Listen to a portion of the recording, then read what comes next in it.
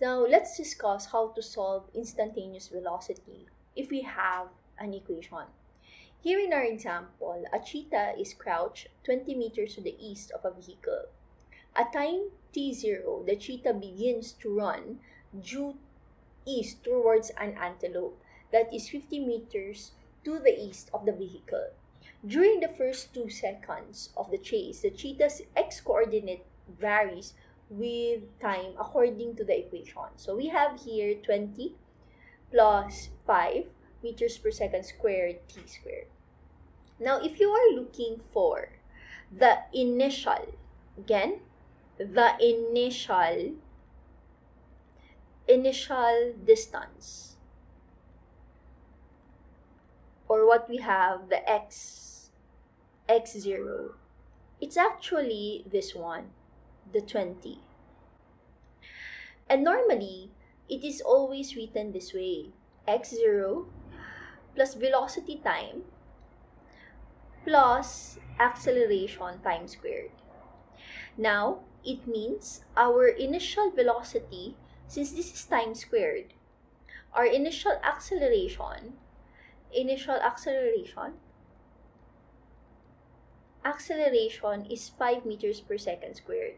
But for our velocity, our initial velocity is 0. So again, this is the initial distance the initial velocity is zero because we don't have t here. And 5 meters per second squared is actually our initial acceleration. Now we have here questions. First, find the cheetah's displacement at t 1 second and t 2 seconds. Then, after that, find the average velocity during the interval. Now, to solve that, all you have to do is substitute. What you have to do is substitute this one to our time. Now, if you substitute that 25 times 1, we have 25 meters. Therefore, the distance at 1 second is 25 meters already as the cheetah moved forward to the antelope.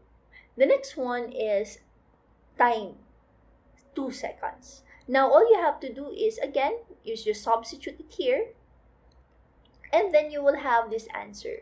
Therefore, at time 2 seconds, the, the cheetah is already 40 meters from 0. Okay? Now, that means it didn't reach the antelope yet. The question letter B says, the average velocity during the interval is now, remember the formula of average velocity? The average velocity is x2 minus x1 divided by the 2 seconds for the x2 and the 1 second for the x1 and you will have the average velocity of 15 meters per second. So we have here the question number 3. Question number 3 with the change the change in time of 0.1 second. Now, you can start with time 1 second. Then it has a change of 1.1 because we add the 0.1 here. That's the change in seconds. Now, first one you compute for this time because we already know the answer for this one. So let's just compute at distance at time 1.1. So if you compute that, substitute, we will have 26.05. Now, if you compute the velocity, the average velocity there is of course this one. And we've computed before this one. Over time, which is 1.1 and 1, we have this average velocity. Now, what if you want to check change in time not just for a 0.1 second, but you want a change in time with a 0.01. If you compute that, you will actually have almost the same answer. If you want to have 0.001, if you compute that, you will, you will also have almost the same answer.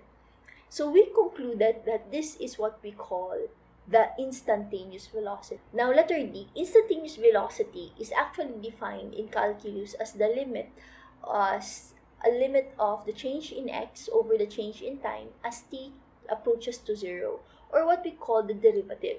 Now, if you have this equation, you can have the derivative of that equation and you will end up with this formula. T is that.